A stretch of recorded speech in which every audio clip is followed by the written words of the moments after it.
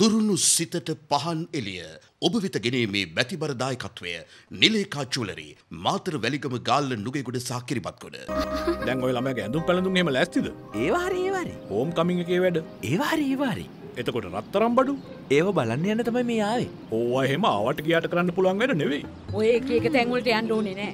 අපේ පරම්පරාවේ කාලාන්තරයක් තිස්සේ රත්තරන් බඩු ගන්න තැනක් තියෙනවා. මම කියන තැනින් අලුත්ම ඩිසයින් වලින් ඉස්තරම්ම රත්තරම් බඩු හදව ගන්න පුළුවන්. අපි මෙයා කෙන තැන්ටත් ගිහින් බලමුකෝ. ආ මේ නිලේකා ජුවලර්ස් අපි කිව්වෙත් නිලේකා ජුවලස් ගැන තමයි. නිලේකා හැම අතින්ම ඉස්තරම්. විවාහ මංගල්‍ය ඇතුළු ජීවිතේ සෑම ඉස්තරම් මොහොතකටම නිලේකා අවුරුද්ධ පුරාම ජීවිතය ඉස්තරං කරන රත්තරං. නිලේකා හැම අතින්ම ඉස්තරං.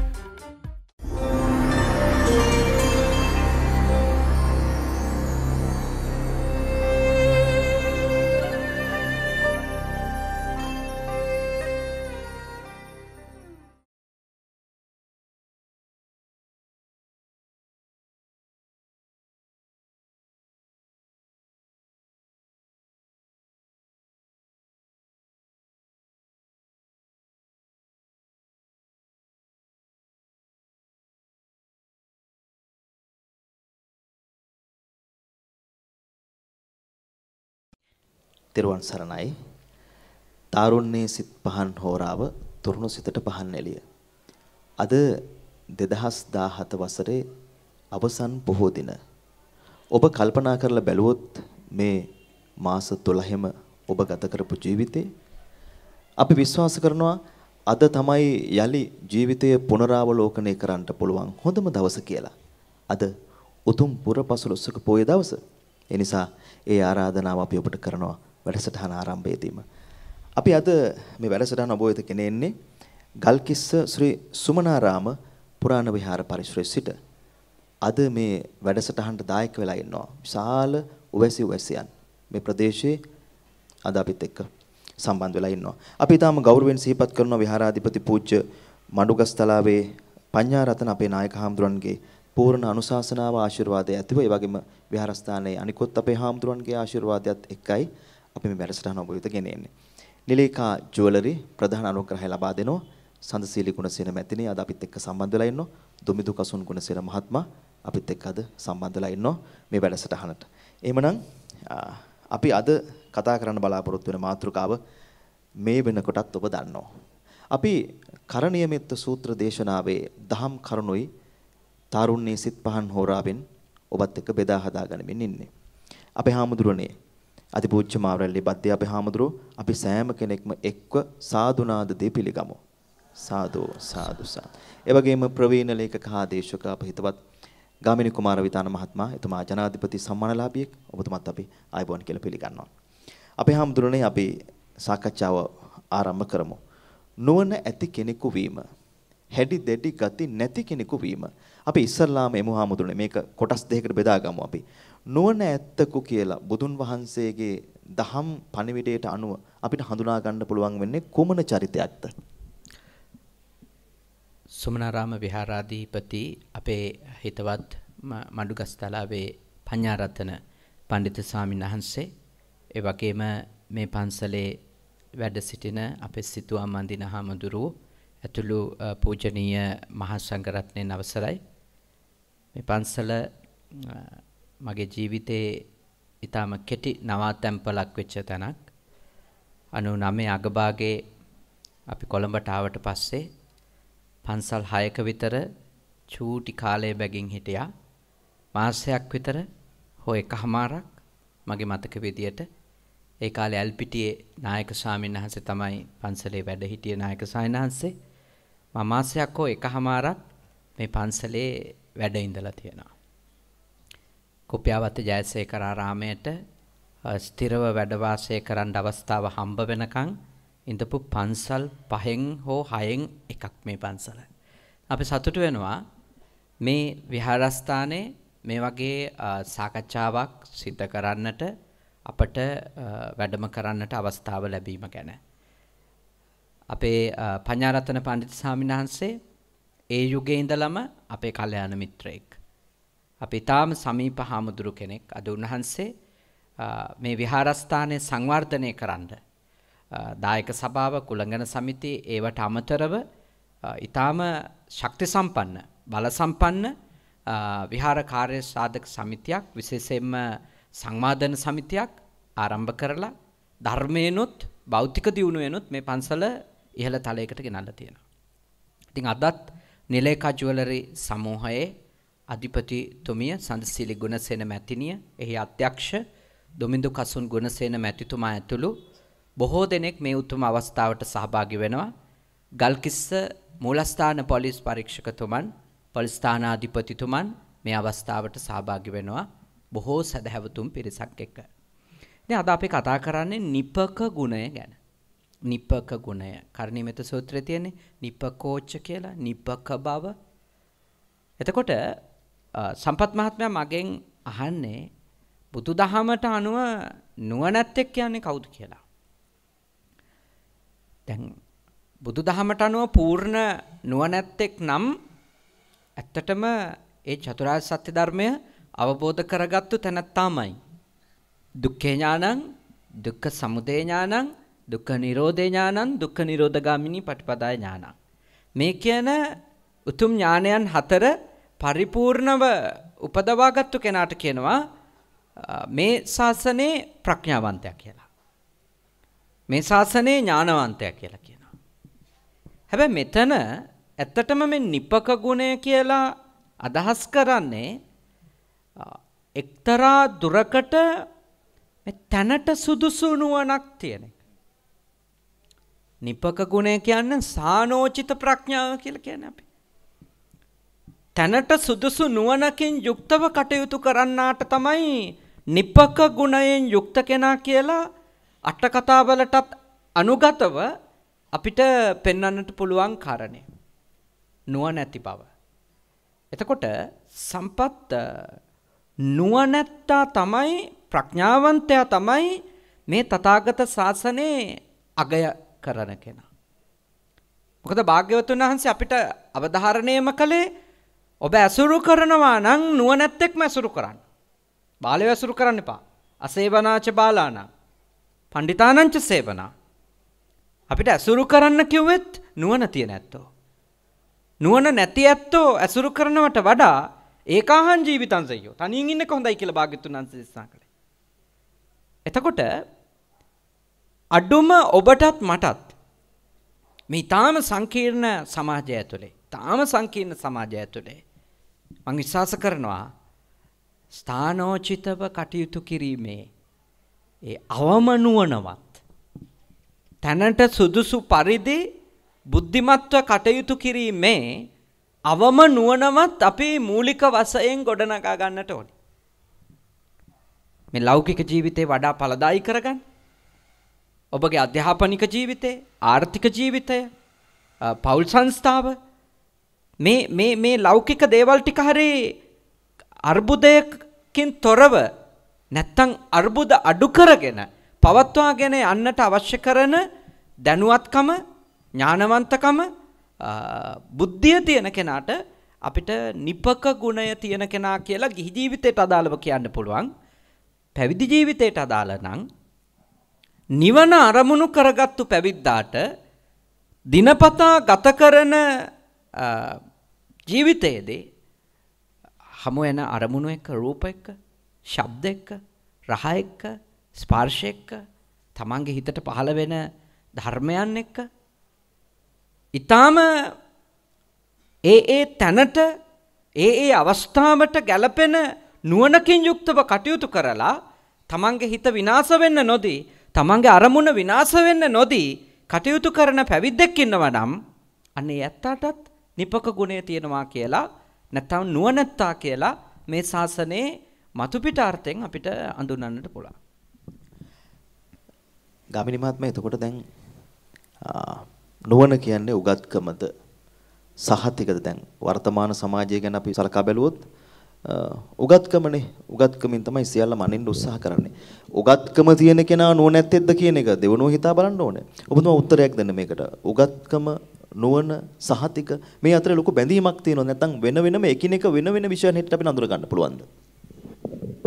ගෞරවාර්හ පූජ්‍යපාද ශාස්ත්‍රපති මාවරල බද්දේනායක හඳුරන් වහන්සේ වගේම මේ පන්සලේ අ, නායක හඳුරන් වහන්සේ පඤ්ඤාරතන නායක හඳුරන් වහන්සේ ප්‍රමුඛ සදහැවත් අ, බෞද්ධ ජනතාවගෙන් අවසරයි. අ, හරිම කාලෝචිත ප්‍රශ්නයක් සම්පත් ඔබ නැගුවේ. දැන් අපේ උගත්කම් අ, වල මාපකය තමයි අපේ සහතික. අපේ උපාධි සහතික උසස් පෙළ සහතික සාමාන්‍ය පෙළ සහතික අ, ශාස්ත්‍රපති ශාස්ත්‍රවේදී ආචාර්ය උපාධිය ඉතින් අපි ඒ මාපකයන් අ, ලඝු කොට අඩුලුහුඩු කොට සලකනවා නොවේ නමුත් අප දැක තිබෙනවා මේ මාපකයන් මේ අපි මනින මිනුම් මේ බහුල සුලභ මිනුම් වලට වඩා මිනිසුන් ඒ මිනුම් සමග ප්‍රඥාවෙන් කටයුතු කරනවා නම් සුපරිපූර්ණ ප්‍රඥාවකින් යුක්තව අපේ නායක හමුදුරෝ දේශනා කළා වගේ ස්ථානෝචිතව ප්‍රඥාවත් සමග යමෙක් කටයුතු කරනවා නම් එයයි දීප්තිමත්ව බැබලෙනවා. දැන් එහෙම අවස්ථා අ, අ, නිපක ගුණයෙන් යුක්ත අවස්ථා තියෙන ලෝක ලෝකේ ශ්‍රේෂ්ඨ මිනිස්සු ශ්‍රේෂ්ඨ කියන අර අ, ශ්‍රේෂ්ඨ කියන අ, නාමය අන්වර්ථ නාමයේ ඒගොල්ලන්ට පටබැඳිලා තියෙන්නේ මේ ස්ථානෝචිතව කටයුතු කරපු නිසා. දැන් මේ වෙලාවේ මට පුංචි කතාවක් මතක් වෙනවා. දැන් ලෝකයේ ඊ타මත්ම අපහසුවෙන් අ, අමාරුවෙන් තැනකට ආපු කෙනෙක් තමයි නෙල්සන් මැන්ඩෙලා සූරීන්. අවුරුදු 28ක් පමණ රොබන් දූපතේ රොබන් කියන තමන්ගේ රටේම දූපතේ ගල් කඩමින් බන්ධනාගාරගත වෙලා හිටියා නෙල්සන් මැන්ඩෙලා අ, තුමා. අප්‍රිකානු ජාතික කොංග්‍රසයේ පිහිටුවලා බ්‍රිතාන්‍ය අධිරාජ්‍යයෙන් අ, තමන්ට නිදහස උදා කර ගැනීමේ උත්සාහය සඳහා නීතිඥ මැන්ඩෙලා නීතිඥවරේ මැන්ඩෙලා බලයටපත් වුණාට පස්සේ වැඩිම ඡන්දයෙන් අ, ඒ රටේ ජාතික ක්‍රීඩාව තමයි රග්බි ක්‍රීඩාව. සියලුම අ, කළු ජාතිකයන් කියනවා මේ සුදු ජාතිකයන් එතකොටත් එවකටත් අ, තරඟ වැදී සිටපු කණ්ඩායම සම්පූර්ණයෙන්ම ඉවත් කරන්න. දැන් මේ රටවල් වල කියන වගේම සම්පූර්ණයෙන්ම ඉවත් කරලා අපේ කට්ටිය පත් කරගන්න. අපේ කළු ජාතිකයන් පත් කරගන්න. ඒ වෙලාවේ අ, නෙල්සන් මැන්ඩෙලා තුමා මුළු ලෝකෙම බලාගෙන ඉන්නවා එතුමාගේ තීරණය දිහා.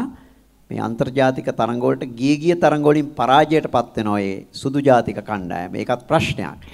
ඒත් අ, හරි ඉවසීමෙන් ස්ථානෝචිතව ලෝකය බලාගෙන ඉන්න බව දැනගෙන ඉන්නවා. අනිත් එක වෛරයෙන් කටයුතු කරපු කෙනෙක් නෙවෙයි. ඒ කණ්ඩායමම අභිප්‍රේරණය කළා අවසානයේ රග්බි කුසලානය දිනා ගන්නවා. ඒ කියන්නේ කළු ජාතිකයෝ නෙවෙයි අ, දකුණු අප්‍රිකාව වෙනුවෙන් පෙනී සිටියේ මැන්ඩෙලා බලයටපත් වුණාට පස්සේ සුදු ජාතිකයෝ. දැන් මේක අසම සම නායකත්ව ගුණයක් වගේම ස්ථානෝචිත ප්‍රඥාවක් ලෙසයි අපේ නායක හමුදුරු මේ කතාව දන්නවා සලකන්නේ ලෝකයා ඒ නිසාම තමයි නොබෙල් සම්මානයෙන් පිදුම් ලැබුවේ. අංක 1 ත්‍රස්තවාදියෙක් ලෙස සලකපු නෙල්සන් මැන්ඩෙලාව එහෙම හඳුන්වපු රටවල් වලින්ම නොබෙල් සම්මානය එතුමාට දුන්නා. මේ ගැන කරන ලද සිනමා පටේ ඉන්වික්ටස් අපරාර්ථ මං හිතන්නේ සදාවත් බෞද්ධ බලන එක හොඳයි. හරි ධෛර්ය සම්පන්න කතාවක් මේකේ තියෙන මුළු රටම කියනවා. මේ කණ්ඩායම එලවන්න කියලා. නමුත් මැන්ඩෙලා තනි තීරණයක නායකයා තනි තීරණයක ඉදමින් ස්ථානෝචිත විවසීමෙන් මේ කණ්ඩායම අ, ජයග්‍රහණය කරවීමේ පුවත ලෝකයේ අසම සම චිත්‍රපටයකට සිනමා පටයකට හේතුපාදක වුණා. ඉන්වික්ටස් එහෙම නැත්නම් අපරාර්ථ. ඉතින් මේක මැන්ඩෙලා කියන්නේ බෞද්ධයෙක් නෙවෙයි. නමුත් ලෝකයේ අ, මේ මහා බෞද්ධ ගුණය බුදුහාමුදුරෝ දේශනා කරපු නිපකෝච කියන ගුණය ගුරු කොට ගත්ත අය ඒ ගුරු කොට ගැනීමෙන් අතිශ්‍රේෂ්ඨ නික්ලිෂ්ට පුජ්‍යලයන් බවට පත් වෙනවා සමහර වෙලාවට ඇත්තටම අපේ නායක හමුදුරනේ මේ රටවල් පිළිබඳ දන්නේත් ඒ පුජ්‍යලයා නිසා. දැන් දකුණු අප්‍රිකාව ගැන කවුරුවත් කතා කරන්නේ නැහැ. මොකද මැන්ඩෙලා සහ දකුණු අප්‍රිකාව බද්ධ වෙනවා ඒ සමහර පුජ්‍යලයෝ නිසා ඒ රට බැබලෙනවා. දැන් ගාන්ධිතුමා වගේ කෙනෙක් නිසා ඉන්දියාව බැබලුණා වගේ බුදුහාමුදුරු නිසා මහා ಭಾರತයේ සමස්ත බබලනවා. ඉතින් ඒක නිසා නිපකෝච ගුණය වෙනත් ආගම් වල අය වෙනත් සමයන්හි වෙනත් ජාතීන්හි අය පවා මනාව ජීවිතවලට යොදාගෙන ස්ථානෝචිත ප්‍රඥාවෙන් කටයුතු කළ දෙන. ඉතින් එතෙන්දී නීතිවේදී උපාධිය වැදගත් උනේ නැහැ. ඒ උපාධිය නෙමෙයි වැදගත් උනේ එනිප කෝච ගුණය. අපේ හාමුදුරනේ දැන් හුඟ දෙනෙකුට තියෙන ගැටලුව මොනව හරි දෙයක් කරලා ඉවරුනහම කල්පනා වෙනවා මේ තව ටිකක් මේක මෙහෙම කරා නම් හොඳයිනේ. තව ටිකක් මං ඉවසුවා නම් හොඳයිනේ. ෂා. අපරාධයක හැමුණේ. ඒක අපේ හැමෝටම කල්පනා වෙන්නේ පොඩි වෙලාවකින් මිනිත්තු දෙක තුනකින් වෙන්න පුළුවන් නැත්නම් පහෝදා රැයට කාලා හාන්සි පුටුවේ ඉඳගෙන ඉන්නකොට වෙන්න පුළුවන්. දැන් මෙතනදී සිද්ධ වෙලා තියෙන තැනට සුදුසු නොවන මඟ හැරිලානේ අපේ හැමදෙරෝනේ. මෙහෙම වෙන්න ඇත.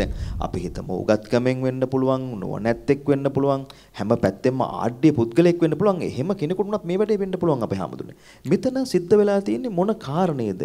මොන කාරණේද දරා ගන්න බැරි වෙලා තියෙන්නේ? නැත් සම්පත් මෙහෙමයි දැන් එයාට ඒ වැරද්ද තමන්ගේ අතින් වෙලා විනාඩි 10කට 15කට පස්සේ හරි තා චුට්ටක් මට බුද්ධිමත්ව හැසිරෙන්න තිබුණා කියලා හිතුනොත් ඒකත් ලොකු දෙයක්. ඒක ලොකු දෙයක් සම්පත්. ඒක වටිනවා සම්පත්. මොකද සමහරුන්ට ජීවිතේම වැරදි කරමින් ඉදිද්දි තමන් කරන්න වැරද්දක් කියලා තේරෙන්නේ නැති තත්ත්වයක් තියෙනවා. අනිත් අය පෙන්නුවත් කියලා දුන්නත් එයා හිතන් ඉන්නව නම් එයා වැරදි කරන්නේ නැහැ කියලා. ඒක නරකයි අර විනාඩි 10කට පස්සේ මතක් වෙන එකට වඩා. එහෙනම් අතන තියෙන අර්බුදයක්. ඒ කියන්නේ අපි අපිට තරහ ගියාම අපි ඉන්නේ මානසික අර්බුදකාරී තත්වයකනේ. අපිට ආස හිතුනම ඉන්නේ අපේ මනසේ සාමය නැතුවනේ. එතකොට අපි ගන්න ඩිසිෂන් වලට ඒක බලපානවා. ඉතින් අපේ නුවණ අපිට නැති කරනවනේ දැඩි ආසාව. අධික තරහ අපිට එන මේ සම්පත් අපිට ඒ වෙලාවේ මේ يعني මොලේ ලොක් වෙනවා. තේරුණානේ? ඒ කියන්නේ මොලේ ලොක් වෙනවා අපිට. ඒ කියන්නේ අධික තරහපු ගමන් අපි දන්නේ නැතුව යනවා මේ මොකද්ද අපි මේ කරන්නේ කියලා. ඒක විය හැකි එකක්. හැබැයි පස්සේ හරි මතක් වෙලා එයා ඒක සම්බන්ධව පසුතැවෙනවා නම් මං හිතන්නේ ඒක සම්පත් ප්‍රමාණවත්. දැන් තථාගතයන් වහන්සේ තමයි අපිට මේ තැනට සුදුසු නුවණින් කටයුතු කරපු උතුමන් අතර පරමාදර්ශය. හොඳම උදාහරණ. ඊට උදාහරණයක් මම දන්නේ නැහැ.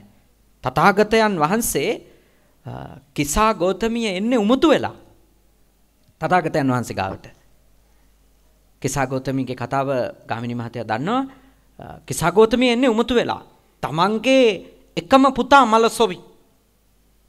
මොකද ඇයගේ මනස පිළිගන්න සූදානම් වෙලා හිටියේ නැහැ. තමන්ගේ පුතා මැරෙන්න පුළුවන් කියලා. එක බුද්ධිමත් මිනිස්සෙක් කිව්වා තාම නුවණැති මිනිස්සෙක් කිව්වා ඔයාගේ පුතා සනීප කරලා දෙන්න පුළුවන් එක්කෙනෙක් ඉන්නවා. එයා ඉන්නේ අර පන්සලේ. එතෙන්ට යන්න. ඇය මල පුතා කරගහගෙන පන්සලට දුවගෙන ආවා. භාග්‍යවතුන් වහන්සේ ගාවට ඇවිල්ලා මල පුතා තුරුල් කරගෙන අහනවා මගේ පුතා සුව කරන්න ඔබට පුළුවන්ද? භාග්‍යවතුන් වහන්සේ ඒ වෙලාවෙම දේශනා කරනවා ඔව් පුළුවන්. මට පුළුවන් ඒක කරන්න. ඇයට කොච්චර නම් සතුටක් දැනෙනවද? ඇයට අපේක්ෂාවක් ගොඩ නැගෙනවා.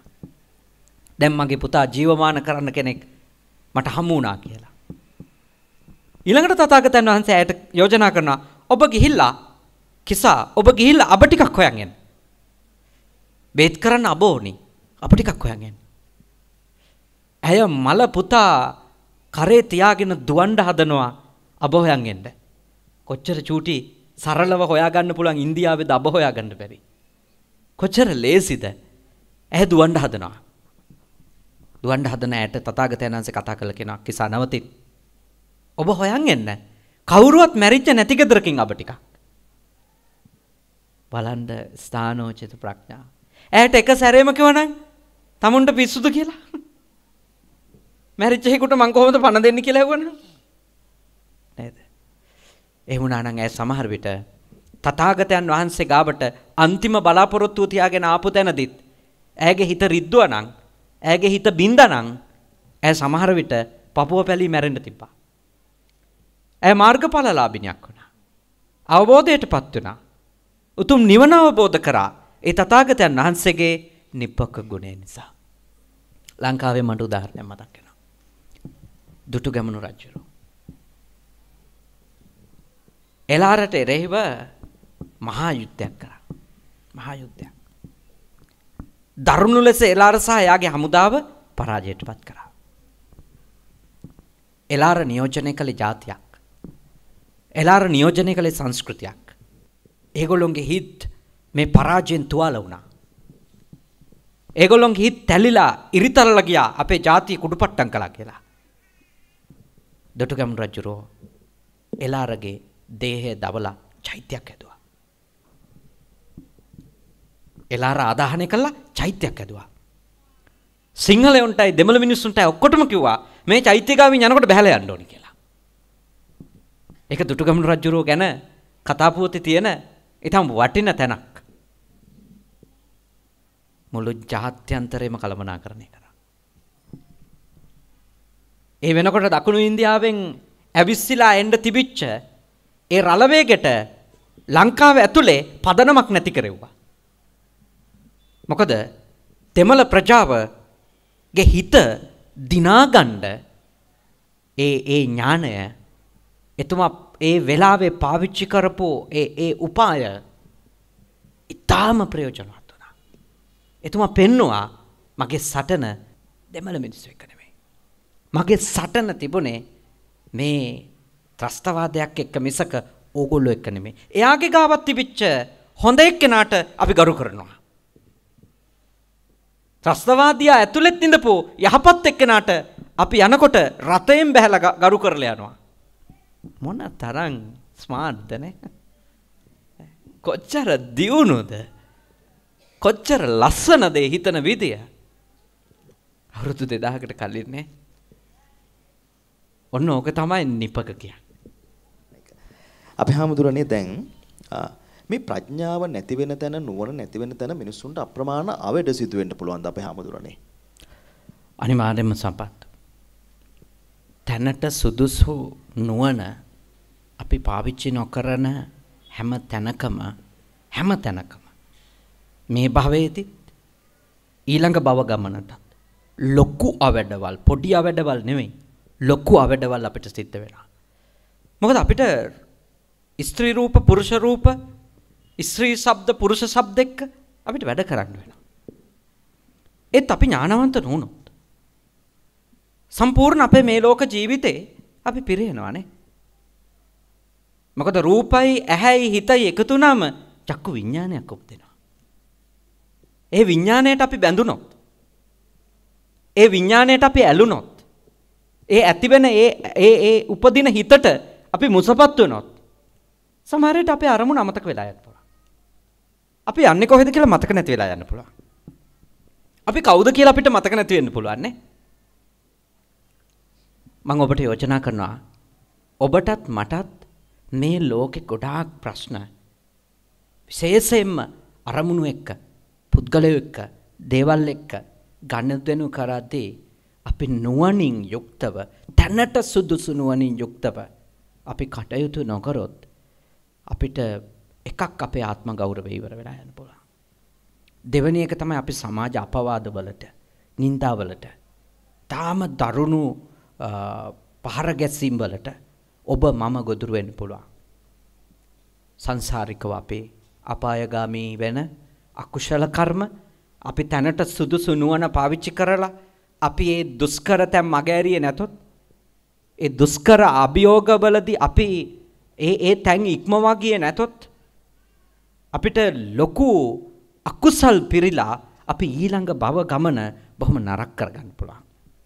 ඒ නිසා අපේ තරුණ දරුවන්ට වැඩිහිටියන්ට මම යෝජනා කරනවා ඔබ නුවණ බිඳවට්ට ගන්නා හැම තැනකම ඔබේ මෙලොව ජීවිතේ බිඳවට්ට ගන්නවා. ඔබේ සංසාරික ජීවිතේ බිඳවට්ට ගන්නවා. චූටි කාලේ ඉගෙන ගන්න. නුවණ අවුල් වෙන දේවල් චූටි කාලේදී සිත කරගන්න එපා. තරුණ කාලේ සල්ලි හම්බ කරගන්න. හොඳ ගයක් හදාගන්න. හොඳ ජීවිතයකට අත්තිවාරම දාගන්න. ඒ කාලේ වෙන වෙන දේවල් පස්සේ ගියොත් ආසාවන් පස්සේ ගියොත් මත්ද්‍රව්‍ය පස්සේ ගියොත් අපි දන්නේම නැතුව අපේ නුවණ නැති වෙලා යයි. අපිට ඥානයේ ක්‍රම තුනකට දියුණු කරන්න පුළුවන්. සුතමේ ඥානය. සිහිනුවණින් අහලා පොතපත කියවලා හොඳට ඇහුම්කම් දීලා සුතමේ ඥානය දියුණු කරන්න පුළුවන්. අහපු දේවල් සිහිනුවණින් ඊටාම ගැඹුරින් කල්පනා කරලා අපිට චින්තාමය ඥානය දියුණු කරන්න පුළුවන්. හැම මොහොතක්ම සිහිනුවණින් ගත කරලා අපිට විදර්ශනා ප්‍රඥාව භාවනාමය ඥානය අපිට දියුණු කරගන්න පුළුවන්. අපි නුවණ දියුණු කරගමු. සිහියයි නුවණයි තියේ නම් ගොඩක් අනතුරු වලින් අපි බේරෙනවා. මහමග අනතුරුත්, gedara dore අනතුරුත්, සමාජ වෙන්න පුළුවන් බොහෝ ප්‍රශ්නත් නේද?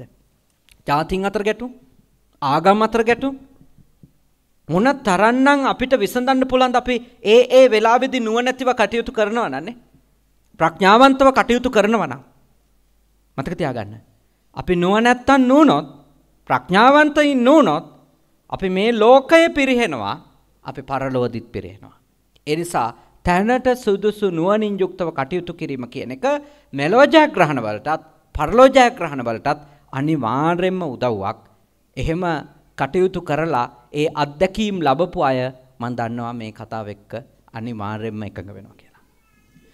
ගාමිණී මහත්මයා දැන් සාමාන්‍යයෙන් මේ සමාජයේ තියෙන ඔක්කොම මානව බැඳීම්. විශේෂයෙන්ම sannivedana ක්‍රම හරහා අපි හදාගත්ත මානව බැඳීම් තමයි ඔක්කොම තියෙන්නේ. එතකොට දැන් අපිට හම්බෙන මිනිස්සු අපි ඇසුරු කරන පුද්ගලය අපි කොහොමද හොයාගන්නේ දැන් නුවණ තියෙන කෙනෙක් හම්බෙලා අපිට ඇසුරු කරන්න පුළුවන් නම් දීර්ඝ කාලීනව අපිටත් ලොකු ආලෝකයක් නේ අපේ ජීවිතයට සහ අපේ නුවණට. ඔබතුමා එක පැත්තකින් සත්ව විද්‍යාඥයෙක් එක පැත්තකින් ලේඛකයෙක් සහ මහා පරිචයක් තියෙන පුද්ගලයෙක්නේ අපි කොහොමද ගාමිණී මහත්මයා හොයාගන්නේ? එකපාරට බැරි වෙන්න පුළුවන්. ටික කාලෙකින් වෙන්නත් පුළුවන්. නුවණ තියෙන කෙනෙක් හැබෑටම අපිට ප්‍රයෝජනයක් ගන්න පුළුවන් යයි කියලා හැඟෙන? ඇත්තටම සම්පත් අපේ නායක හඳුනන්නේ මට නම් හිතෙන්නේ ක්‍රියාවෙන්ම තමයි. ක්‍රියාවෙන්ම තමයි මේ වෙලාවේ මට පුංචි කතාවක් මතක් වෙනවා. බරපතල තත්වයක් මතුවෙච්ච පුංචි කතාවක්. ශ්‍රී දලදා මාලිගාවේ රාජහස්තියා සංරක්ෂණය කරන්න ගියපු වෙලාවේ කොළඹ ජාතික කෞතුකාගාරය වෙනුවෙන් විශාල පිරිසක් නැගී හිටියා ඇතා හැම ගහනවා කියලා. නේ අපේ සමහර අය හරි කලබලයි. අපි ඒ ගහන ලදහම වියලා සම සංරක්ෂණය කළ රසායනිකව තිර කළා අද ශ්‍රී දල්දා මාලිගාවේ කුටියක මගුල් මඩුව පැත්තේ කෞතුකාගාරේ බලන්න පුළුවන් අපේ හාමුදුරුවනේ. නමුත් ඒ වෙලාවේ විශාල මහජන ප්‍රකෝපයක් නැගීගෙන ආපු වෙලාවේ හිටපු දේවඩනීල මෙතුමා බොහොම ප්‍රඥා සම්පන්නව කටයුතු කළා. අර ඊතුරු හැමයි දල දෙකයි පාත පාද හතරයි රැගෙන වහාම කොළඹ ජාතික කෞතුකාගාරය කොළඹ බලා යන්න කිව්වා. අපි ඇත්තටම ආදාහනය කළේ සතාගේ අර ඉතුරු කොටස් කූඩාරන් රෙද්දකින් වහලා. මිනිසුගේ හිතේ සමස්ත සතා තමයි මේ ආදාහනය කරන්න කියලා. එහෙම ආදාහනය කරා නම් අර සත්‍ය සතා සත්‍ය විදියට හදපු රසායනිකව තිර කරපු සතා දකින්න හම්බෙන්නේ නැහැ. ඒක නිසා සමහර වෙලාවල් වලදී මිනිස්සු පොදුවේ පොදු මහා පොදු මහා ජන බහුතරය වුණත් ක්‍රියා කරන ආකාරය ඊටාම අනුවණ වෙන්න පුළුවන්. අදූරදර්ශී වෙන්න පුළුවන්. එහෙම වෙලාවට එක මිනිහෙක් සමහරලාට ඊටාම නැනවත්ව දූරදර්ශීව කටයුතු කරනව වෙන්න පුළුවන්. ඒ වෙලාවට සම්පත් පේන්නේ අපිට ඒ මිනිහයා තමයි වැරදි කියලා. ඒ ඒ ක්‍රියා කරන මිනිහා. මොකද නිතරම දූරදර්ශීව කටයුතු කරන මිනිහෙක් ඒ වෙලාවේ වර්තමානයේ අපිට පේන්නේ හරිම අදූරදර්ශී කෙනෙක් හැටියට නායක හමුදුරනේ. ටික කලක් ගියාට පස්සේ තමයි ඒ පුජ්‍යලයා ඇත්තටම ස්ථානෝචිත ප්‍රඥාවෙන් නිපකෝච ගුණයෙන් කටයුතු කළා කියලා දැනෙන්නේ. අනිත් එක මේ නිපකෝච ගුණයෙන් යුක්ත පුජ්‍යලයෝ නිතරම අර පරාජයෙන් පාඩම් ඉගෙන ගන්න උදවිය.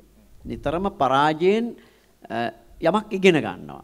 එහෙම නැති අය කවදාවත් ස්ථානෝචිත ප්‍රඥාවෙන් වැඩ කරන්නේ නැහැ. මොකද මේකත් සහජ බුද්ධියක්. ඉන්ස්ටින්ක්ට් කියලා කියන්නේ සහජ බුද්ධිය කියන එක තියෙන කෙනෙක් තමයි මේ නිපකෝච කියන ගුණය මට හිතෙන නායක හාමුදුරනේ ප්‍රවර්ධනය කරගන්නේ. ඉතින් ඒකයි ඇත්තටම අපිට දකින්න ලැබෙන්නේ. විවාහ මංගල්‍ය ඇතුළු ජීවිතේ සෑම ඉස්තරම් මොහොතකටම නිලේකා අවුරුද්ධ පුරාම ජීවිතය ඉස්තරං කරන රත්තරං. නිලේකා හැම අතින්ම ඉස්තරං. රනින් රෝ සරසන්නට සැරසින්න ජීවිතයේ ස්වර්ණමී සිතුවිලි රනින් හැඩගන්වන්න විශ්වාසය හා බැඳුණු සාධාරණ මිල සමකින් නිලේකා ජුවලරි. දැන් අපේ හාමුදුරනේ අපි නිවසට යන්කෝ. බිරිඳ ස්වාමියා, දරුවෝ, අම්මා තාත්තා දූ දරුවෝ. අපේ හාමුදුරනේ දැන් මේ වගේ සංස්ථාවකට ගිහාම ප්‍රඥාව තියෙන්නට මෙපාය මේ ජීවිතය ඉස්සරහට ගෙනියන්නට නැත්නම් නුවණ තියෙන්නට ඕනේ මේ ජීවිතය ඉස්සරහට ගෙනියන්නට.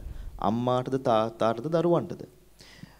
මෙය බිඳුණු තැන ඇතැම් වෙලාවට අපේ හාමුදුරනේ මේ ජීවිතේම සමස්තයෙන් බිඳ වැටෙන්න පුළුවන්. පුළුවන් නේ බිඳ වැටිච්ච අවස්ථා ඕන තරම් තියෙනවා. මම ඔබ වහන්සේගෙන් අහන්නේ ප්‍රඥාව බිඳ වැටෙන්න නුවණ බිඳ වැටෙන්න අපේ හාමුදුරනේ ප්‍රධාන වශයෙන් අපි නිවස තුළට ගියොත් එම මොන වගේ කරුණුද ධර්මානුකූලව අපි හිතුවොත් බලපාන්නේ? ඇත්තටම මේ සම්පත් අපිට මේ අ, ඒ තැනට සුදුසු නුවණ ඒ කියන්නේ පොදු බුද්ධිමත්කම කියන එක ඥානය කියන එක අවබෝධය කියන එක අපේ බිඳ වැටෙන්නේ අපේ අ, එක්කෝ ආසාවෙන් අගතියට ගියාම ආශාවෙන් අගතිය අගතියට ගියාට පස්සේ අපිට ඒ ඡන්දයේ අගතියේදී ඒ කියන්නේ ආසාවේ අ, මුසපත් වීමේදී අපිට අ, අපි අපි හිතනවා අපිට ඕන විදියට ඔක්කොම කරකවෙන්න ඕනේ කියලා. ඒ කියන්නේ තාත්තා කෙනෙක් අ, කල්පනා කරොත් එහෙම මගෙන් යැපෙනවා මේ ගෙදර ඔක්කොම. මම තමයි මේගොල්ලෝ පෝෂණය කරන්නේ. එතකොට එයාට ආසාවක් ආවොත් අ, මේ ගෙදර හැමෝම මට යටත් වෙන්න ඕනේ. මං කියන එකම කරන්න ඕනේ.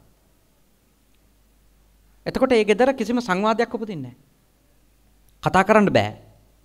ඒ ඒ ගෙදර ඉන්න අය අය අතර කිසිම ආකාරයකට සාමයක් ගොඩනගන්න බෑ. එතකොට අ, සම්පත් එතන ඒ තාත්තා අර ආසවීම අනිත් අය ඔක්කොටම ඔක්කොම දෙනා මට යටත් වෙලා ඉන්න ඕනේ මං කියන එකම කරන්න ඕනේ මට ඕන විදියටම ඒගොල්ලෝ ඔවුන්ගේ ජීවිත හැඩගස්වන්න ඕනී කියන ඒ ආසාවේදී එයාට තේරෙන්නේ නැතුව යනවා මගේ අදහසට වඩා යහපත් අදහසක් අනිත් එක්කෙනාට තියෙන්න පුළුවන් කියන එක.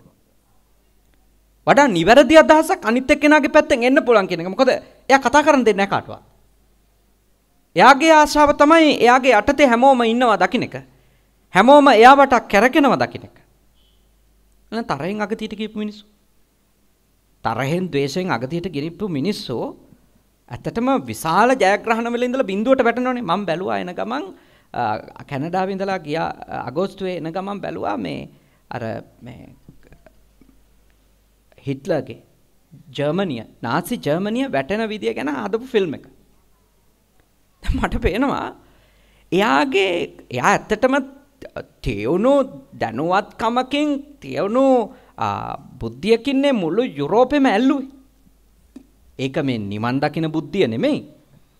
නමුත් එයාට තියුණු නුවණක් තිබුණනේ දැනුවත්කමක් තිබුණනේ යුද්ධ කරන හැටි ක- යටත් කරන හැටි තමන්ගේම වූ පිරිසිදු නාසි ජර්මනියක් හදන හැටි දැන් ඒ තිබිච්ච ලෞකික නුවණක් ඒක. ඒක වැඩක් නෑ අපිට. ඒක මිනිමරුවෙක්ගේ නුවණක්. හැබැයි ඒකත් ඒක එච්චර බලගතු තැනක ඉඳලා එයා පිරිහෙන්නේ තනිකර දත්මිටි කකා ගන්න කේන්තු හින්දා. තීන්දුව හින්දා. දත්මිටි කනවා එයා. අන්තිමට එයාගේ ජෙනරාල්වලු පත් කරන්නේ අස් කරන්නේ දත්මිටි කකා. කේන්තියෙන් එයාගේ අත් දෙක වෙවුලනවා. හරි දැඩි දේශෙන් එයා තීන්දුව ගනිමින් තීන්දුව ගනිමින් මුළු එයාගේ රාජධානියම බිඳුවට වැටෙන්න සලසලා අන්තිමට තමම වෙඩි තියාගෙන මැරලා යනවා. එයා එයාගේ නෝනයි. එතකොට සම්පත් ඒ අ, ඕනම තැනක බුද්ධිමත්කම බිඳ වැටෙන දෙවැනි ප්‍රශ්නේ තමයි තරහෙන් මුසපත් වීම. අපිට තරහ ගියපු ගමන් අ- අනිත් අයට අපිව පාවිච්චි කරන්න පුළුවන්. තරහ ගියපු ගමන් අපිට එක පැත්තක් පේන්නේ නැති වෙලා යනවා. පේන්නේ නැති වෙලා යනවා. ඒක ඒක ඒක සිද්ධ වෙන අනිවාර්ය දෙයක්. මම ඔබලාට යෝජනා කරනවා දැඩි ලෙස තරහ ගියපු වෙලාවට නම් කිසිම දෙයකට හා කියන්න එපා. බෑ කියන්න එපා. එපා කියන්න එපා. කරන්න කියන්න එපා. හැම එකකම ප්‍රශ්නයක් ඉතුරුයි. තරහ ඉවර වෙනකන් ඉන්න මොකද තරහ කියන්නේ සම්පූර්ණයෙන්ම අර්බුදකාරී වෙලාවක්. යහපත් තත්වයක් නෙවෙයි.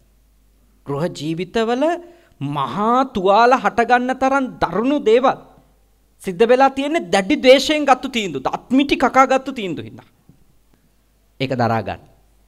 එතකොට ඔබට සාමකාමී මනසකින් ඕන තීරණයක් ගන්න පුළුවන්. ඔබ නිදහස් වෙලාවේදී ඕන තීරණයක් ගන්න පුළුවන්. මොකද බුද්ධිය අපෙන් බිඳ වැටිච්ච වෙලාවල් වල අපි ගන්න තීරණ නිසා ආසාවට ගත්තු තීරණ කොච්චර වරද්දලා තියෙද සමහරු මට කියනවා අපේ හාමුදුරනේ මම ඒ කාලේ මේ කසාදෙට කැමති වුණේ මේ මිනිහා මැරෙනවමයි කියලා කියපු හින්දා මම බය වුණා. දැන් මට මැරෙන්න වෙලා තියෙන්නේ. බලන්න නේද? කවුරු හරි මැරෙනවමයි කියලා කසාදෙකට වගේ අත්සන් කරොත් මොකද වෙන්න පුළුවන්? බය ඇතුලේ ගත්තු තීරණ ගොඩක් විඳවන්න සලස්සලා තියෙනවා. මම ඔබට යෝජනා කරනවා මේ චෛතසික හතර ඔබ අර්බුදයට ගෙනියනවා. මේ වෙලාවල් වලදී තාම පරිස්සම් වෙන්න කියලා. තාම පරිස්සම් වෙන්න. අපේ හැමෝටම කෙටි උත්තරයක් දෙන්න. ගාමිණී මහත්මිය ළඟට යන්න ඕනේ මොකද අර හැඩි දැඩි ගති නැති කෙනා කියන මාතෘකාව මම පටන් ගන්න ඔබතුමාගෙන්. ඊට කලින් අපේ හැමෝටම මට කෙටි උත්තරයක් දෙන්න. බලයෙන් මුසපත් වෙච්ච කෙනෙකුට බලයෙන් මුසපත් වෙච්ච නායකයෙකුට බලයෙන් ඉහළටම ගිහිල්ලා ඔළුව ඉදිමහගත්ත නායකයෙකුට හැමෝටම ඔය ධර්ම කරුණ බලපහන්න දැන් ඔබ වහන්සේ කර කිව්වා බයෙන් උපරිමයට ගියාම තරහින් උපරිමයට ගියාම මම නිකන් මතක් වුණේ බලයෙන් උපරිමයට ගියාම ඔය එතකොට එන්නේ මාන්නේනේ. මාන්නය. ඒ කියන්නේ මේ තණ්හාව තියෙන කෙනා, ද්වේෂය තියෙන කෙනා, මෝහය තියෙන කෙනාගේ ගාව තියෙන චෛතසිකයක් තමයි මාන. ලෝභසිත තියෙනකම්, ද්වේෂසිත තියෙනකම්, මෝහසිත තියෙනකම් මාන තියෙනවා. එතකොට බලයෙන් මොසපත් වෙච්ච එක්කෙනාටත් එයා හිතනවා මං කියන්නේ ඔක්කොම හරි. මං හිතන විදිය හරි. මට තේරෙන විදිය හරි. මං ගන්න තීන්දුව හරි. එහෙම හිතනවා. මතක තියාගන්න මාන්නේ කියන එක එන්නේ මේ දේශපාලඥයින්ට විතරක් නෙමෙයි. ගේ ඇතුලේ බලය තියෙන්නේ කාන්තාවට නම් එයාටත් මේ මාන්න එනවා. ගේ ඇතුලේ බලය තියෙන පිරිමිහට නම් එයාටත් මාන්න එනවා නේ. ඔයසි මහත්තයත් පරිසම් වෙන්න ඕනේ. බලය තියෙන්නේ පොලිස් ස්ථානයේ ඔබතුමා පරිසම් වෙන්න ඕනේ. මත ඔබතුමාට හිතෙන්න පුළුවන් මං කරන ඔක්කොම හරි කියලා. ඒත් හැමතිස්සෙම මතක තියාගන්න. අපි කොච්චර බලවත් වුණත් අපිට කොච්චර හයිය තිබුණත් අපිට කොච්චර අවස්ථාවල් තිබුණත් අපිට හැම තීරණයක්ම ගන්න පුළුවන් වුණත් අපේ අනතිමානී වෙන්න ඕනි. අනිත් එක්කෙනා මේක ගැන දරන අදහස කොයි වගේ එකද කියලා අහගන්න. ඒකට අනතිමානි වෙන්න ඕන.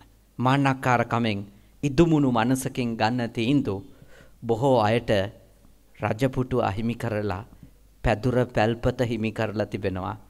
ලෝක ඉතිහාසෙ නම් කතා ගොඩක් ඇති. නමුත් මම දන්නවා ජාතක කතාවල එහෙමනම් හරියට එවැනි අවස්ථා අපිට දැක ගන්න පුළුවන්. හරි. ගාමිණී මහත්තයා දැන් අපි හැඩි දැඩි ගති නැති කෙනෙක් කියන්නේ කවුද?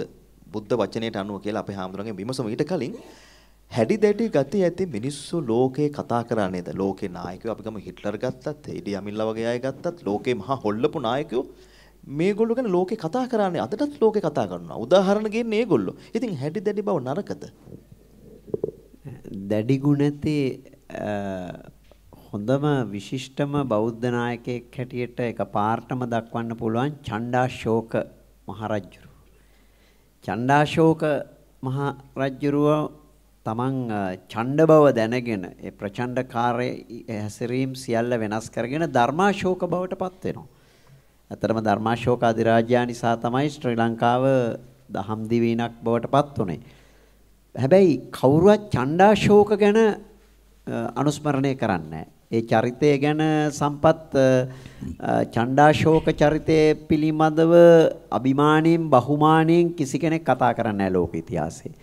ඡණ්ඩාශෝක රජ්ජුරුවන්ට ධර්මාශෝක වුණාට පස්සේ තමයි ඒ සියලු බහුමානය, සියලු ගෞරවාදරය, සියලු ආදරය, කරුණාව ලෝකෙන් ලැබුණේ. දැන් අද ලෝක ඉතිහාසයේ අනිවාර්යයෙන්ම ලියවිච්ච නම් තමයි බෙනිටෝ මුසොලිනි. අනිවාර්යයෙන්ම ලියවිච්ච නමක් තමයි ඇඩොල්ෆ් හිට්ලර්. හැම ඉතිහාස පොතකම එතුමන්ලා දෙන්නගේ පින්තූරක් තියෙනවා. ඊට පස්සේ මේ මේ හැම රාජ්‍යයකම බිහි වෙනවා. පොල් පොට් කාම්බෝජයේ පොල් පොට්තුමා ඊට පස්සේ ඉඩියමීන් උගණ්ඩාවේ විශාල සමූල ඝාතන කරා තමන්ගේම වැසියන් මරා දැමුවා. මේ කිසි කෙනෙක් ගැන ඒ රටේවත් ලෝකේවත් බහුමානයෙන් කතා කරන්නේ නැහැ. හරි පිළිකුලෙන් තමයි කතා කරන්නේ. දැන් කවුරු හරි ඒකද අපේ දේශයේ කෙනෙක් යම් කිසි විදියකට ඒ විදියට කටයුතු කරන්න ගියත් අපි කියන්නේ අන්න අර වගේ තමයි. එයා හිට්ලර් වගේ කටයුතු කරන්නේ. එයා මුසොලීනි වගේ. එයා ඉඩියමීන් කෙනෙක්. ඉතින් ඒක නිසා ඒවා මේ කුප්‍රකට චරිත. එතකොට දැඩි ගුණයෙන් කටයුතු කරපු හැම රජ කෙනෙක්ම දැඩි ගුණයෙන් ගත මේ gedara ගත කරපු පාලකයෙක් ගෙවල් වල ගේ ඇතුලේ අපේ නායක හමුදුරු කිව්වා වගේ ගෙවල් ඇතුලේ පාලකයෝ ඉන්නේ අතිශය දැඩි ගුණයෙන් කටයුතු කරපු මිනිස්සු ගැන අපි සලකන්නේ කුප්‍රකට ප්‍රකටයි. හැබැයි කුප්‍රකට මිනිස්සු හැටියටයි සලකන්නේ. දැන් නිතරම ගෙවල් වල ඉන්න අම්මලා තමයි හරි කොමල. තාත්තලා හරි දැඩි ගුණයෙන් යුක්තයි. නිතරම දරුවෝ සමීප වෙන්නේ වැඩි හරියක් අම්මට. ඒ සමීප වෙන්නෙත් ඇයි කොමල ගතියට. කොමල ගතියට හැම මිනිහෙක්ම ආසයි. ඉතින් මේ කොමල භවෙන් අනූනව දැන් කෙනෙකුට කල්පනා කරන්න පුළුවන් මෙහෙම නෝන්ජල්කමකින් මේ වගේ නෝන්ජල් කෙනෙකුට රටක් පාලනය කරන්න පුළුවන්ද නෑ ශ්‍රේෂ්ඨ ගාන්ධිතුමා ಭಾರತයේ මහා ස්වර්ණ පුෂ්පය බ්‍රිතාන්‍ය අධිරාජ්‍යවාදීන්ගෙන් නිදහස උදුරාගත්තේ අඩුම ලේ ප්‍රමාණයක් සොලවලා. අදත් නායකත්ව සංකේතයක් හැටියට අපි ලෝකයා ගණන් ගන්න විශේෂයෙන්ම අපේ හමුදාවන් වලත් වෙනත් ලෝකයේ හමුදාවන් වලත් නායකත්ව ගුණයන්ගෙන් පරිපූර්ණ කෙනෙක් හැටියට සලකන්නේ ශ්‍රේෂ්ඨ ගාන්ධිතුමා. ඉතින් මේක නිසා කිසිම ලෝකයේ කිසිම කෙනෙක් ඒ දැඩි ගුණයෙන් අනුනව සටන් කරපු රජ කෙනෙක්, දැඩි ගුණයෙන් ගෙදරක් පාලනය කරපු කෙනෙක්, දැඩි ගුණයෙන් ආයතනයක් පාලනය කරපු කෙනෙක් මිනිසුන්ගේ සදානුස්මරණීය භාවයට පත් වෙලා නැහැ. එහෙම දැඩි ගුණයෙන් පාලනය කළා විශිෂ්ට කළමනාකාරීත්වයක් ඇති කරත් එයා ගැන ප්‍රසාදව පූර්වක හැඟීමක් අපේ නායක හාමුදුරනේ මිනිස්සුන්ට ඇති වෙලා නැහැ. ඒ මුදු ගුණය තමයි බුදුහාමුදුරෝගේ මුදු අනතිමානී ගුණය තවරාගත් අය ගැන ලෝකයා සදාකාලිකව කතා කරන සම්පත්. අපේ හාමුදුරනේ ඔකට ගම්වල කියන්නේ අලියා එතාවුණත් නැමෙන්නේ ගුණයට කියලා. මම දන්නේ ඔබ වහන්සේ ඒක පිළිගනිත කියලා. හරි දැන් අපේ හාමුදුරනේ හැඩි දැඩි මිනිස්සු හැඩි දැඩි මිනිස්සුන්ටද හැඩි දැඩි ගති තියෙන. හැඩි දැඩි ගති ඇත්තෝ දැන් නම් හැඩි දැඩි කියලා කියන්නේ ජිම් එකට ගිහලා ඇඟ හදාගත්තාම නේ ශරීර ස්වභාවය. නමුත් අපේ හාමුදුරනේ චිත්ත අභ්‍යන්තරයේ මේ තියෙන ගති පැවතුම් නැත්තම් මිනිසාගේ චර්යාවන් හා බැඳුණු ගති පැවතුම් තමයි අපි කතා කරන්නේ. හැඩි දැඩි නොකර ගන්න කියන එක. මේක කොහොමද ධර්මානුකූලව අපි විග්‍රහ කරගන්නේ? දැන් කරණීයමෙත් සූත්‍රයේ අපගබ්බෝ කියන වචනේ තමයි අපි මේ කතා කරන්නේ. ප්‍රගල්බ නොවුණු කෙනෙක් වීම. මෙතන මේ අටුවාවේ ලස්සනට උදාහරණකින් පෙන්නනවා.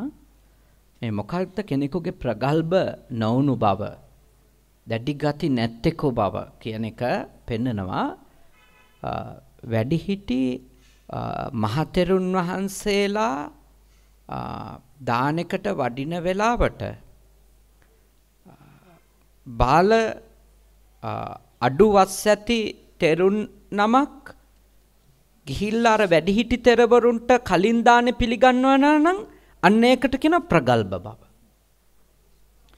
ඊළඟට වැඩිහිටි තෙර නමක් ධර්මය දේශනා කරන්න සූදානමින් ඉඳිද්දී නෑ මම බණ කියන්නම් කියලා පොඩි හාඳුරු කෙනෙක් ඇවිල්ලා බලහත්කාරයෙන් ඒක කරනව නම් අන්න ඒකට කියනවා ප්‍රගල්භ බව.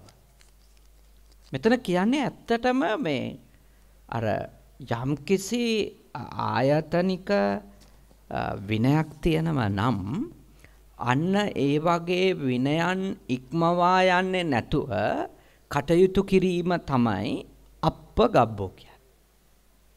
දැන් අපි උදාහරණයක් මෙහෙම ගමුකෝ. අපිට කියනවා යම්කිසි තැනක බේත් ගන්න තැන කියලා පොලිමේන්. පොලිමේන් කියලා කියනවා. බොහෝ දෙනෙක් පොලිමේ ඉඳිද්දී කවුරු හරි එක්කෙනෙක් ගිහිල්ලා ඉස්සරහින් හිට ගන්නවා අනිත් අයගේ ඔළුවට උඩින් අත දතා. බේත් තුඬුව දික් කර කර. අන්න එයා ප්‍රගල්පයි. අපගබ්බෝ නෙමෙයි. ඇත්තටම මේ ප්‍රගල්භ බව කියන්නේ සාහසිකකමනේ. තමන්ගේ කායික බලය පාවිච්චි කරනවා, තමන්ගේ දේශපාලනික බලය පාවිච්චි කරනවා. තමන්ගේ තනතුරු වල බලය පාවිච්චි කරනවා. ඒවා පාවිච්චි කරලා අනිත් අයට පීඩා කරනවා. අනිත් අයගේ තියෙන අවස්ථා උදුර ගන්නවා. පැවිද්දේ කදාකත් එතෙන්ටපත් වෙන්න හොඳ නැහැ. කවදාකත්පත් වෙන්න හොඳ නැහැ. ගිහියන්ටත් මම යෝජනා කරනවා ඔබ ඔබ වහාම ඔබේ ජීවිතේ මෙවැනි සාහසික දැඩි ගති තියෙනම් දුරු කරගන්න. මං චූටි අහලා ගොඩක් අතර. අපේ රටේ සාමාන්‍යයෙන් හාමුදුරු කෙනෙක් පෙළියේ ඉන්න ඕනේ නැහැ. අපේ රටේ බැංකුවකට ගියොත් ස්පිරිතාලයකට ගියොත් හාමුදුරුවෝ පොලිමේ තියන්නේ නැහැ. ඒත් මම මගේ පොඩි හාමුදුරුවෝ ඔක්කොටම කියලා තියන්නේ ඔයගොල්ලෝ කවදා හරි දවසක බැංකුවකට ගියොත් ස්පිරිතාලයකට ගියොත් කරුණා කරලා ගිහිල්ලා පොලිමට එක්ක අහුවෙන්න. එතන ඉන්න මිනිස්සු ඕගොල්ලෝ එක්කරන් යයි ඉස්සරහට. ඒත් ඕගොල්ලෝ යන්න එපා. වැරදි. මම ලංකාවේ එයාපෝට් එකේ ලංකාවේ එයාපෝට් එකේ පිටරටකට යනකොට මං ගිහිල්ලා එක්ක අහුවෙන්නේ පොලිමේ අන්තිමට. එතන ඉන්න නිලධාරියෝ හෝ එතන ඉස්සරහා ඉන්න මිනිස්සයා හෝ අනිවාර්යයෙන්ම මට කියන ඔබ වහන්සේ යන්න කියලා. ඒක මට මේ රටේදී ලැබෙන දෙයක්. හැබැයි මට මේ රටේදී ඒ අවස්ථාව ලැබුණට මම කවදාවත් හොඳ නෑ ගිහිල්ලා ඉස්සරහින් එකතු වෙන්න. එයයි. මගේ ඊළඟ ගමනාන්තයේදී මං අනිවාර්යයෙන්ම කිව් එකට එකතු වෙන්න වෙනවා. පොලිමට එකතු වෙන්න වෙනවා. මම මෙහෙදි මාන්නට කොහොමද එහෙත් කඩන් ගියොත් එහෙම. කණෙන් ඇදලා දායි නෑ. ආයි මොලේ නරක් වෙලාද කොහෙන් දාවි කියලා. හයි. ඇයි මගේ හාමුදුරුකම් මෙහෙදී මේ විශේෂ වරප්‍රසාද ලැබෙන්න හේතු වුණාට මේ රටෙන් එළියට කියපු ගමන් විශේෂ වරප්‍රසාද හාමුදුරුවෝ කියලා නෑ පුරවැසියන්ට අයිති නීති තියෙන්නේ. ඒ රටට එන්න සංක්‍රමණිකයෙකුට අයිති නීති තියෙන්නේ. ඒ නිසා ගාමිණි මහත්තයෝ අපි කවුරුත් අපිට මොන නම්බු තිබුණත් මොන තත්ත්ව තිබුණත් මොන ප්‍රසිද්ධිය තිබුණත් අපි කවුරුත් පිහිටා සිටින්නට ඕනි එක ධර්මයක් තියෙනවා. ඒ තමයි අපි සියලු දෙනාම අසාහසිකව වැඩ කරන්න. අසාහසික මිනිස්සු විදියට අපිට ලැබෙන හැම සමාජීය කටයුත්තකදීම අපි කටයුතු කරන්න ඕන කෑම ගැනීමේදී වතුර ගැනීමේදී දන්සලක් වැඳීමේදී නේද තැනකට ඇවිල්ලා වාඩි වීමේදී මේ හැම තැනකදීම භාග්‍යවතුන් වහන්සේ හැමතිස්සෙම ඉගැන්නුවා ශාසනයේ මහන මහලු පිළිවෙත කියලා එකක්. මහන මහලු පිළිවෙත. ඒ කියන්නේ වැඩිහිටි අනුපිළිවෙලට තමයි අපේ ශාසනය නම් අවස්ථා ලැබෙන්නේ. හැබැයි ඒකත් කඩන්නත් භාග්‍යවතුන් වහන්සේ අවස්ථා දෙකක් දුන්නා. පළවෙනි එක වැසිකිළියට යන වෙලාවට දෙවෙනි එක නාන්න යන වෙලාවට. මොකද ඒවා ප්‍රයොරිටි එන්නේ අවශ්‍යතාවයේ ප්‍රමාණයට. වයස 90 වැසිකිලි පොලිමේ ඉන්න ඕනේ නැහැ. මොකද ඉස්සෙල්ලා යන්නේ ඉස්සෙල්ලා ඕන කෙනා. නාන කතාවට ඉස්සෙල්ලා යන්නේ ඉස්සෙල්ලා නාන්න ඕනි කෙනා. ඒ දෙකේදි විතරක් අපිට පොලිම කඩන්න පුළුවන්. ඒ කියන්නේ අර වයස අනුපිළිවෙල බලන්න ඕනේ නැහැ. නායක හමුදුරුවෝ හිටියත් ඉස්සෙල්ලා ගිය කෙනා තමයි වැසිකිළියට ඇතුල් වෙන්න ඕනේ. අනිත් හැම තැනදීම අපිට එවැනි යෝජනාවක් තථාගතයන් වහන්සේ සිද්ධ කළා තියෙනවා. නමුත් අපි කවුරුත් හැම තිස්සෙම රටේ පොදු නීතියේදී අර අපේ පොඩි පොඩි ආයතනවල නීති ඉක්මවලා පොදු නීතියට අසාහසිකව එකතු වෙන්න කියලා තමයි යෝජනා කරන්නේ. අපේ හැමදෙනේ සාකච්ඡාව අවසන් කරන්න කියලා අපේ නිෂ්පාදකතුමා කියනවා. ඒත් මිනිත්තුවක් අපි කතා කරමු. ඔබ වහන්සේට මම අවසන් වශයෙන් ආරාධනා කරන්නේ මේ දහම් කරුණු දෙක රැකගන්න ඔබ වහන්සේ මොනවද යෝජනා කරන්නේ? විශේෂයෙන්ම මෙතන ඉන්න දහස් සංඛ්‍යාත පිරිසට සහ අපිව බලන ලක්ෂ සංඛ්‍යාත පිරිසට ඔබ වහන්සේ මොනවද යෝජනා කරන්නේ? ඇත්තටම කෙටියෙන් කිව්වොත් මම යෝජනා කරන්නේ මේකට ඕන සීනුවන දියුණු වීම. සිහියයි නුවණයි දියුණු කරන්නේ නැතුව අපිට නිපක ගුණය දියුණු කරගන්නත් බෑ. අසාහසික බව හෙවත් හැඩි දැඩි නැති ගති බව හෙවත් අපගබ්බ ගුණය දියුණු කරන්න බෑ. සිහිනුවන දියුණු කරන්න හැමතිස්සෙම සිහියෙන් ඉන්න ඕන. මං කවුද? මම මේ කොතනද ඉන්නේ? මම මේ මොනවද හිතන්නේ? මම මේ මොනවද කතා කරන්නේ? අන්න එතකොට අපේ ස්ථානෝචිත බව අපිට අනිවාර්යයෙන්ම එළියට එයි. සිහියෙන් ඉන්න තමන් ගැන. සතිපට්ඨානනේ.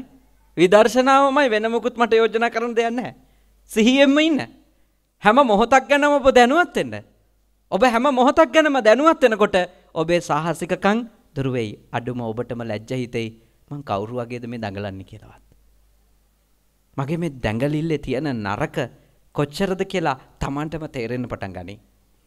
සිහිය නැති වුණොත් නුවණ නැති වුණොත් අපි සාහසික වෙයි. දුෂ්ප්‍රඥ වෙයි. තැන නොතැන දන්නේ නැතුව වැඩ කරන්න පටන් ගනී. බුදුහාමුදුරුවෝ දේශනා කළේ සතිපට්ඨානයෙන් යෝනිසෝ මනසිකාරයෙන් වැඩ කරන්න කියලා. සාමාන්‍ය ගැමියොත් කිව්වේ කරන දෙයක් සිහිනුවණින් කරන්න කියලා. ඔබට රටට තෙරුවන් සරණයි. ඔබේ මෘදුගුණයට ඔබේ සමීපතමයා කොච්චර ඇලුම් කරයිද? ඔබ නුවණින් සිහිබුද්ධියෙන් කටයුතු කරනවා නම් ඔබට සමාජයේ කොතරම් පැසසුම් ලැබෙයිද? කල්පනා කරලා බලන්න. අද වසරේ අවසන් පෝය ඔබට පිළිවන් ඔබේ ජීවිතයේ දෙස ආපහු හැරිලා බලන්න. ඔබ කොච්චර සිහියෙන් කටයුතු කරාද? ඔබ කොච්චර දැඩි තීරණ ගත්තාද? ඔබ කොච්චර මෘදු වුණාද? මෘදු වූ තැන ඔබට කොච්චර සම්මාන ලැබුණාද? කල්පනා කරලා බලන්න. අපි සෑම කෙනෙක්ම සාදුනාදයක් පවත්වා ස්තුතිවන්ත වෙමු. අතිපූජනීය මාවරල්ලේ බද්දේ අපේ හාමුදුරුවෝ අප කෙරේ අනුකම්පාවෙන් වැඩම කළ ඒ වගේම ගාමිණී කුමාර විතාන මහත්මයා ස්තුතියත් සම්බන්ධ වුණාට අපි අද මේ වැඩසටහන බොයතගෙන ආවේ ගල්කිස්ස ශ්‍රී සුමනාරාම පුරාණ විහාරස්ථානයේ සිට විශේෂයෙන්ම මෙහි සංවිධානය කටයුතු කිරීමේදී ආධ්‍යාත්මික හා විහාර සංවර්ධන පදනම ඒ දායක සභාවේ පින්වතුන් ඉතාම ගෞරවයෙන් සිහිපත් කරනවා. ඒ වගේම අජිත් ප්‍රේමලාල් උත්සව භාණ්ඩාධිපති මයිකල් ෆොන්සේකා මහත්මයා ඇතුළු පවුලේ සියලුම දෙනා ඉතාම වෙහෙස මහන්සි වෙලා මේ වැඩසටහන සංවිධානය කරන්නට විශාල කැපකිරීමක් කරා.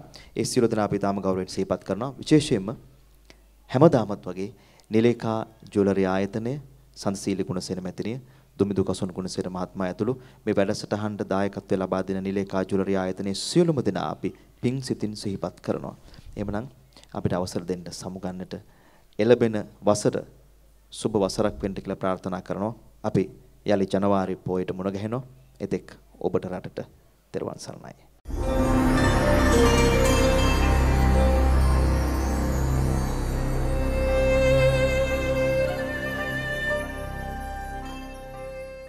තුරුණු සිතට පහන් එලිය ඔබ වෙත ගෙනීමේ බැතිබරදායකත්වය නිලේකා චුලරි මාතර වැලිගම ගාල්ල නුගෙගොඩ සහ කිරිබත්ගොඩ දැන් ඔය ළමයාගේ ඇඳුම් පැළඳුම් එහෙම ලෑස්තිද?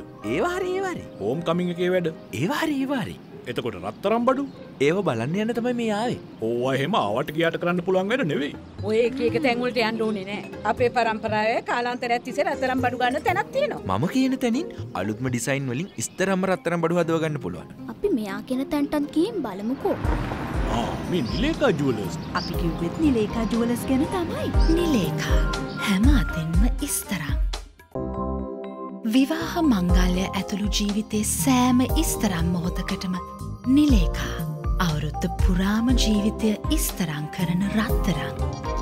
නිලේකා හැම අතින්ම ඉස්තරං.